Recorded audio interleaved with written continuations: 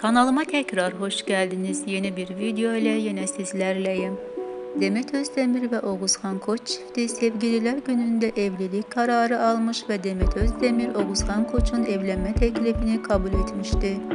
Demet Özdemir ve Oğuzhan Koç en mutlu günlerinde çekildikleri selfie'yi sosyal medya hesaplarından aynı anda paylaştı. Biz de kendi adımızdan bu güzel çifti kutluyor ve en iyi dileklerimizi sunuyoruz. Allah mutlu mesut etsin inşallah. Yakında düğün haberlerini de paylaşırız. Değerli izleyiciler yeni gelişmelerden haberdar olmak için lütfen kanalıma abone olup takipte kalmayı ihmal etmeyin. Bir sonraki videolarda görüşmek üzere hoşça kalın. Size iyi seyirler.